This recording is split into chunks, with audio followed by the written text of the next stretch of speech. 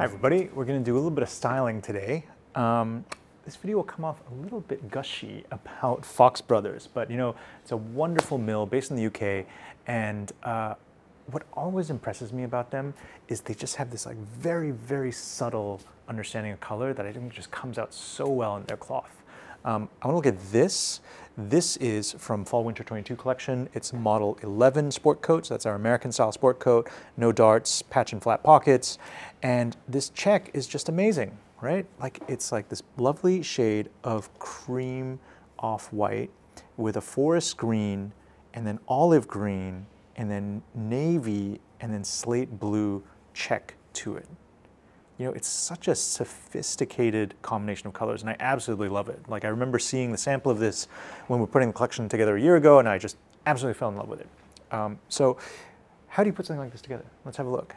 Um, you know, one of the nice things about having a jacket that has a lot of colors in it is it can actually, rather than being very restricting, be very freeing because all you have to do is start picking up colors within the palette of the jacket and uh, you can put together something very good looking with things you probably already have. Okay, let's, I, I, have so much stuff on the table, I apologize. Um, so let's start with something dressy. Um, first, with this sort of thing, uh, because the pattern is quite dense, but also it's somewhat muted, it looks really weird with patterned shirts that are high contrast. So like, I find that very strange, right? But I find this quite interesting. Like you see how much more muted this is compared to this. So I would be here, and then it's a matter of finding the right accessories to um, kind of kind of add a, a bit of visual interest. Like if you want to go really dense with patterns, like that's really interesting. In fact, this really reminds me of Jean Krell. I feel like Jean Krell would put something like this together. Okay? Um, but let's leave these two shirts aside for now and just have a look at what options could we do with this and let's say a white shirt, right? Okay, so there you go. Your white shirt, button down collar is always nice with American style stuff. Um, I showed you that polka dot tie earlier. It's important to try and separate the scales, right? So like the polka dot has sufficient scale from the shepherd's check uh, to not kind of get too lost in it. Like it sits above all of that noise. And in terms of color, navy is obviously great and it's picking up that navy check. But look at that, that's kind of interesting too. Like this slate blue to pick up that slate blue there. Uh, if you want something a little fun, this is from Drake's collection this year. I love this. Little dog tie. Or if you don't want to be in the blues, you can go into the greens as well. This is super interesting. As is this. So forest green or kind of tobacco brown. Or you can even do a solid like that, just green grenadine, which with the navy, uh, sorry, with the white shirt, I think is a really nice combination. Now what do you do for trousers here? Um, well, for trousers, I've prepared two things I think are really good. Uh, I've got this, this was a, typically we do these made to order. We don't have these in stock, but you know, made to order comes pretty fast these days. Um, I'm about to drop everything. This is a pair of Ambrosi made to orders uh, in olive green. It's actually the olive that you find in the Holland and Sherry Crispaire book. I really like this color. It's a really interesting shade of green. Like it's just green enough and just sort of yellow enough to sit really well with these kind of creamy colors. Um, so you could do that. And then, you know, just so it's not overwhelmed with too much yellow tones, like you have a navy tie there. Uh, in terms of shoes, for something like this, I really like suede. I would do suede here, like that.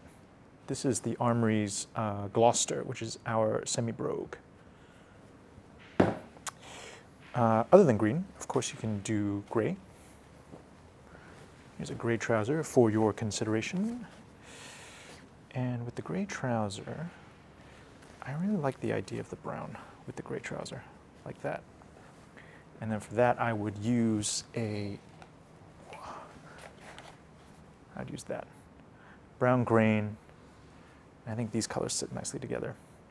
If you want to add uh, if you're going to be able to, if you're going to layer, because um, obviously we're in winter, and uh, although Hong Kong is still bloody hot, um, many parts of the world are much cooler right now. If you want to layer, uh, for something like that, you know, you can continue to play with that like yellow and blue, yellow and blue, right? So a blue sleeveless cardigan like that with the white shirt, with the brown tie.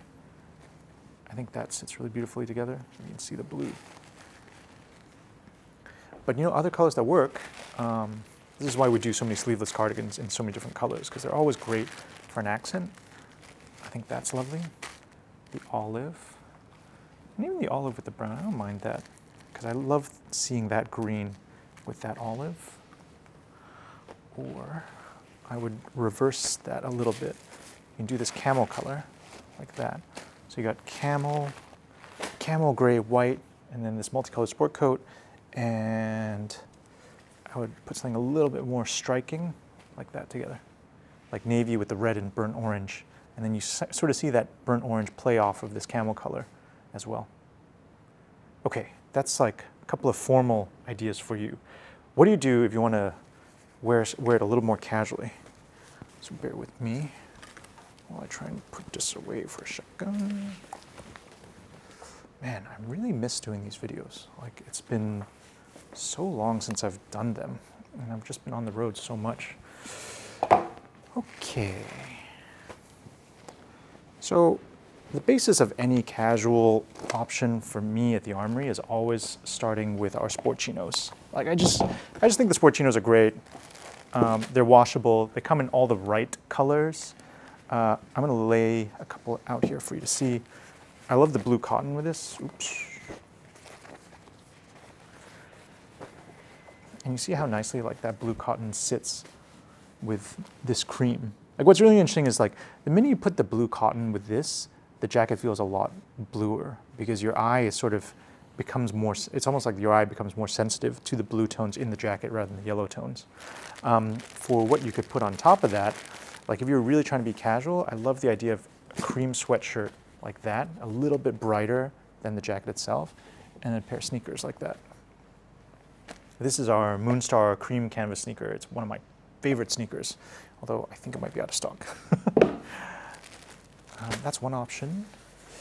Uh, you could also do, let's say, white polo shirt, like that. Then olive trouser, but a paler olive. This our sport chino olive is a little bit lighter in color.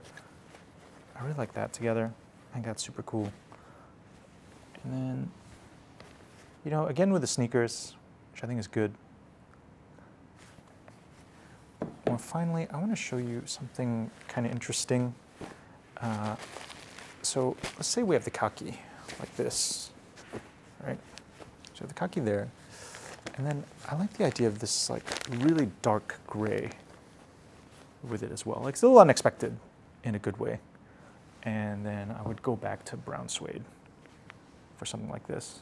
Doesn't have to be an Oxford, it could be a loafer as well. All right? Um, so there you go, a couple of different ways to put together this lovely sport coat. Um, like I said, multicolored sport coats, the nice thing is because you have so many colors at your disposal, it actually sits very well with many, many things that you might already have in your wardrobe. Um, check it out. It's on our website. It's in our stores. Uh, it's the Model 11 sport coat using Fox Brothers cloth. That's it for now, and thanks for watching.